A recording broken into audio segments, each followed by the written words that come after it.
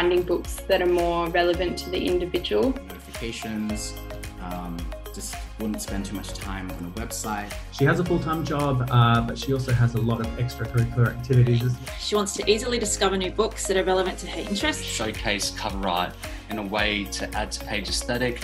Show you this review, bringing up the reviews from people that you know first. Alternatively, if you ask someone like Paige who loves to talk about the book she's read. And to review a book was to go look at the books that I'd purchased. Cool, but there would be a toggle for spoilers in there, and then you would uh, finish writing up your review.